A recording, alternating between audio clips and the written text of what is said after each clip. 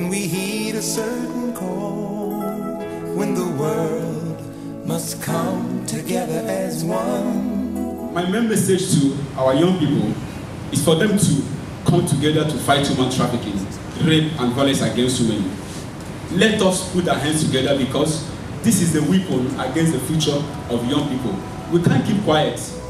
We can't go on pretending day by day that someone somewhere will soon make a change. We all a part of. The march is on and we are not stopping. The march to rectify all the vices that have built up over time and which make life really uncomfortable for even people who are not affected. Vices like rape, vices like human trafficking. I may not know anybody who has been trafficked, but if my neighbor is, or if another citizen is, or another human being is, it should bother me. I should make it my business. That is what makes one a true citizen of the world. Today we are here at a very significant event in Abuja, Nigeria, which is aimed at grooming people. It is actually the graduation ceremony of people who have been groomed to become activists. People who say no to human trafficking. People who do something about human trafficking to curb it and stop it. That is why we're here. And that is why I have this red on because it is not a joke. We are red hot and ready to make sure that this stops in society. Let's go in and see how this goes. Trafficking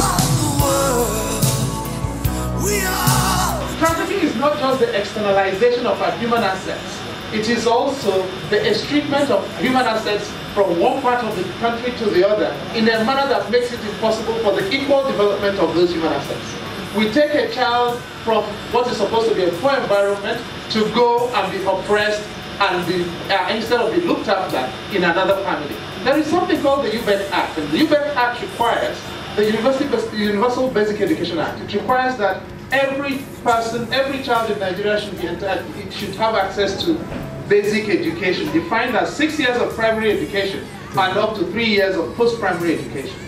A lot of these kids we take out of the villages don't ever get that.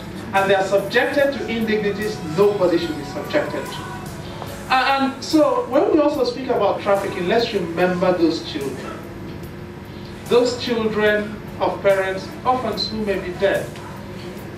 Children of, the latest of course in trafficking is IDPs from the Northeast. You owe it to your next neighbor to say this is wrong, this is criminal, this is, not, this is not supposed to be. I asked us all those who support anti-trafficking and prostitution, I said, if it's your daughter. We did an evacuation in 2011 from uh, Mali. We brought back 14, uh, 101 Nigerian girls.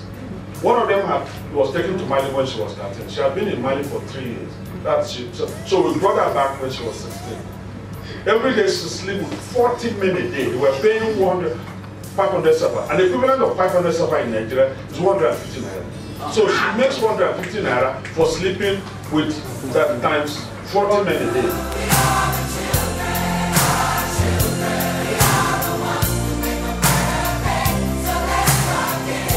I tell you right now, I'm standing with a man who doesn't stop. A man who has dedicated his life, his career, his life entirely to fighting causes, especially of human traffic, especially of human trafficking, rape, and the vices which really trouble us. So you are training other people to do what you're doing, eh? Exactly. Okay, tell us clearly what, what this um, initiative is about today.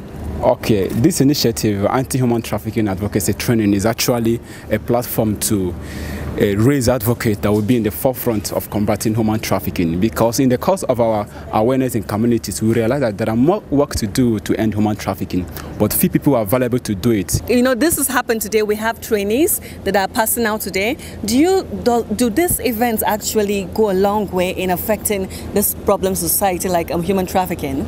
You have to believe it does. Look, you, you can't change the country by sitting in your portion of the world or in your little room. And, uh, you know, every good cause desires and requires and deserves disciples and apostles. And it's from places like this, you get them, you know, equip people with skills, with passion, with inspiration, and unleash them on the world of change. And that. Just in a nutshell, as to how we can subdue this, this very powerful yet um, conquerable vice.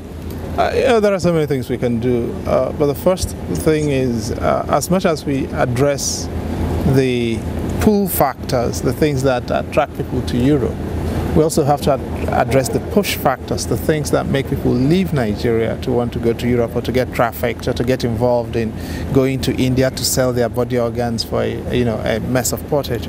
And one of those things is building a country that works, a country of values, a country that values its people. And that comes from getting the right leadership, getting basic social goods available to people, hospitals, education, basic access to financial services, promoting young people and their entrepreneurship and innovation. So I'm going back to the school to educate everybody, both the school principal, the teachers, the students, the parents, to let them know what trafficking is, woman trafficking is, even to the extent of organ trafficking. So people should be aware. And even I would like to enlighten the people in my community, let them know reason why they should say no to woman trafficking. There comes a time when we heed a certain call, when the world must come together as one. There are people